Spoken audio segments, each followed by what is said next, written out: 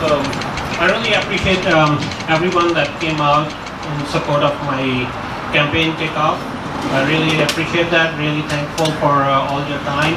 So just a little bit about myself and then we're going to talk about how we're going to run this campaign so we can uh, take it to a winning point. So starting with myself, who I am, I am just a regular person like you. Um, I have migrated to US in 2000 and it's been almost 20 years and uh, I have lived since then in uh, Elk Grove.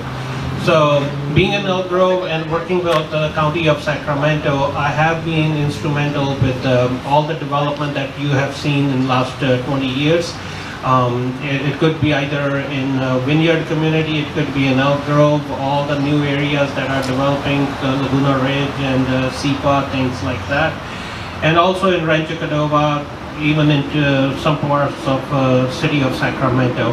Um, me and Jagdishwar Paji, we are always uh, working, he's working on the construction side of it, I'm working in the planning side of it. So we had a pretty good relationship from that aspect. Um, why I'm running? Um, there's a simple reasons. The city has uh, grown up from being an infant or a kid into a 20 year old uh, adult. It has its own new problems, it has new sets of issues, it has uh, new reasons that uh, a new leadership, you can't expect uh, a kindergarten teacher teaching your college going student. So that's where the whole thing is. We have the same leadership that was in place in uh, when the, the city became incorporated and now they are still running the show. But then with the casino coming in, with the new hospital close to 5, uh, Highway 5 and uh, uh, Elder Boulevard showing up, and some other issues that are popping up in the community, the leadership is more worried about their day-to-day -day, um, connections between each other. They're fighting and uh, they have infighting going on. They seems like they are not doing the right thing for the city, they are more involved in their personal grudges against each other. And I want to be the person that is acceptable to all of them. I'm not in any one of the camps. We are not polarized in any way.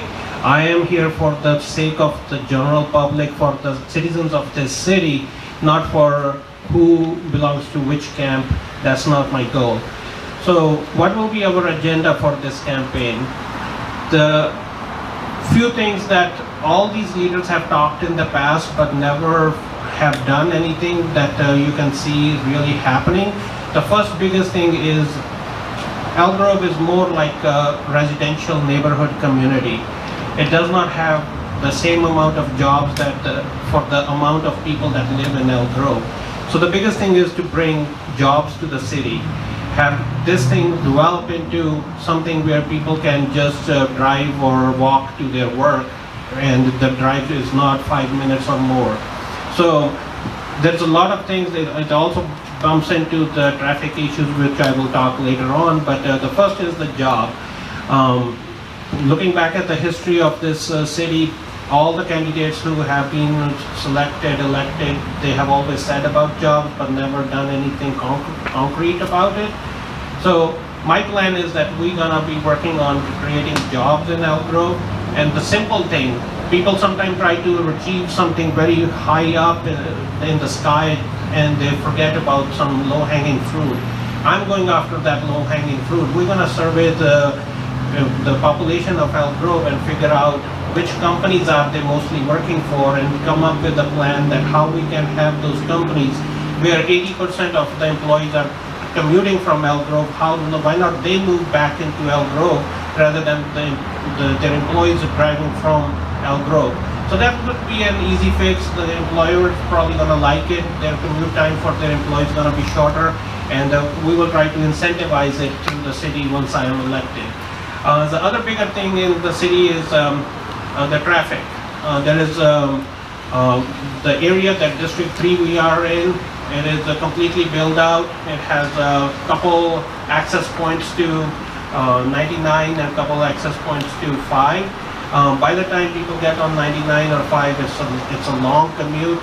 Um, and why is it long commute? Because we need uh, some sort of a couple interchanges for the city that the people can drive and get on the freeway quickly rather than driving through the neighborhoods to get to the. So there is those studies going on. It's not coming to a, any final decision. I, once I'm selected and elected for this uh, position, I will make sure that those studies get completed and we have to, we get to see those interchanges which will take a big, big care of uh, the traffic issue.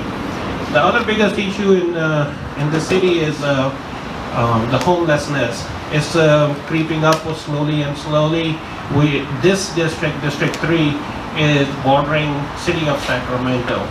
So anytime there is a spillover from the city of Sacramento, the District 3 is the first one to see the number of homeless people going up and that's a big challenge. We need to we need to preserve the uh, the quality of life in this district and the Elk Grove, but at the same time we need to deal with the homelessness issue. There could be multiple ways to do it. We need to stop how the why somebody gets homeless. There is multiple ways. There is scientific studies behind it. There is a uh, automation that we can use. Most of us are on the cell phones, our phones are smartphones. And uh, like uh, you go on Amazon, you pick one item, you even buy it or not buy it, but whenever you go to the next website, you see that same ad pops up for that same item. So those type of things can be used to see, okay, why this person looked into some homeless issues or why and why, is there any reason that this person is going into being a homeless person down the road. So we can catch those up. We need to use the scientific methods to control homelessness. At the same time, we have to provide them with the mental uh, care uh, so that uh, we can take care of those people who really are homeless because of the mental issues that they are facing. And um, the other thing is um, about the city, we have to work on um, uh, getting the police and the um, uh, police has to be released from um, working on all those social issues. So I'm planning to set up uh, some ways or some form of uh, social services in, I'm gonna be making budget available for those or those departments so that uh, anytime there is a call, it's not the police going in. If it's a homeless person making a call or it's a mental issue or, or there is a home disturbance call could be that uh, the social services can go and resolve it rather than police showing up and uh, we are watching and listening in just recent months that um, anytime police officers show up and uh, there is uh, some sort of a misunderstanding uh, there is a shooting or something so we're going to make sure Elk Grove does not get on those headlines anytime so I will work on that part so you guys being here. I really appreciate your time. I will um, request and I hope uh, you guys will be helping me with this campaign. As uh, we, as uh, also mentioned, uh, we need notes and we need votes. Uh, so the money is also needed. We have a good amount of uh, funds collected, but we need more. We are still number two in fundraising in comparison to the five other candidates. Um, but uh, we are very hopeful that uh, with the, all of your support and um, with the money that got raised through you guys, um, we will be able to make it pretty good. And um, I'm very hopeful that we will win this election. It's mostly a triangle race. Uh, where one uh, candidate uh, is representing another uh, one party, another one is representing the other party, but we are the neutral ones. We are the ones that um, are acceptable to all the other ones uh, I have a conversation with uh, Steve Ly and uh, Bobby Singh Allen through text messaging and they both wanted to come here but uh, for some reason they both have uh, their pre-planned uh, schedule and, and so they cannot make it but um, seems like they are both interested in connecting with this campaign so that um, they can also win and we will also win. So knowing that it's not that um, uh, it's a difficult task, it's just that it needs a lot of labor.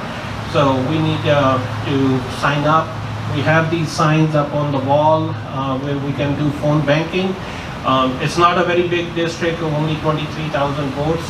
Out of that, generally speaking, 17 to 18,000 are who actually poll.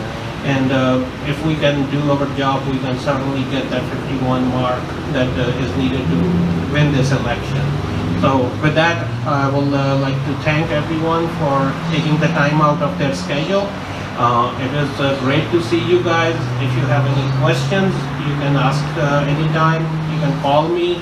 For the media, if anybody is watching it, my number is 916-206-1820.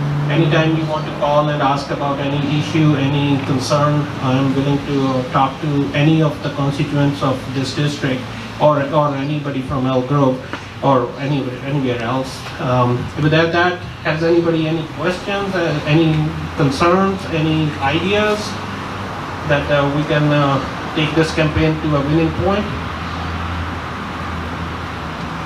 Go on the D. Okay, let's build up that Yeah. momentum.